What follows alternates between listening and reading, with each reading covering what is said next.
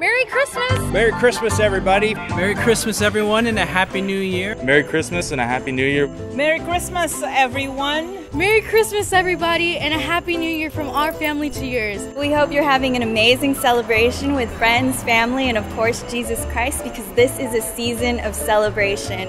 And we want to wish you a Merry Christmas from uh, Freedom Fellowship family to yours all over the world. Uh, we're excited for the amazing opportunities God is opening up for each and every one of us. And we're excited for this new year that's coming about. But this year is not finished yet.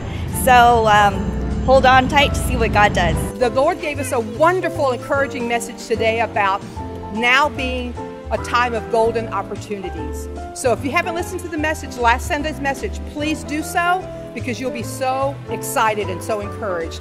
God said that He also is hitting the reset button again. Opportunities for suddenlies, for restoration, for everything that we need. So I encourage you listen to the message. Merry Christmas, everybody. God wants to bless all of us. And I pray that God will expand your capacity to believe and expand your capacity to receive during this golden opportunity time. God bless you. Merry Christmas from all of us here at Freedom Fellowship Church and Sons of God Ministries International.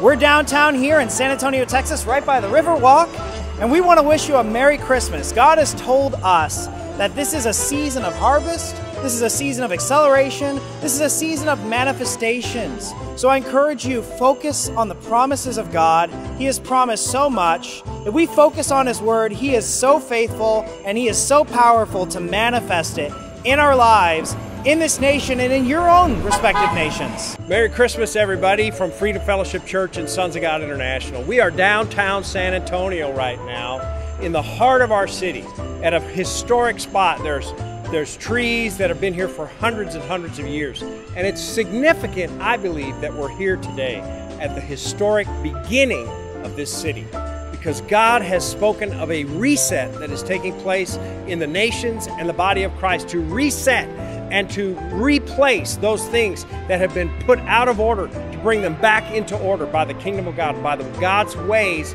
of doing things. So I'm here to tell you be excited, get ready for the greatest move of God that we have ever seen in the nation and in, in your life individually. Whatever God has spoken over your life, if you've messed up in days past, put it behind you and put your hands in God's hands, and He will see you through.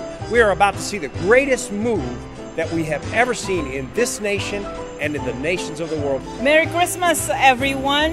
This greeting is coming from our most beautiful river walk in our beloved city, San Antonio, Texas. And I'm just want to want to share with you what this Christmas me, means for all of us. The, the Lord said that this is a golden opportunity. There will be many golden opportunities for all of us to be restored, uh, to for the Lord to have a reset in our lives and in our nations. And I just wanted to share this with you. Get excited what to expect for, uh, for this Christmas season throughout the year. And the next decade and New Year is we're going to experience harvest, we're going to experience uh, restoration, reset, acceleration, suddenlies, and of course, everything will end up in celebration. So join us in celebrating our Lord Jesus Christ, who, as a Son of God, chose a downgrade to be born of a virgin and to, to, be, to be identified with us as a Son of Man, just for us to be reconciled to our Father God, to, to our Creator.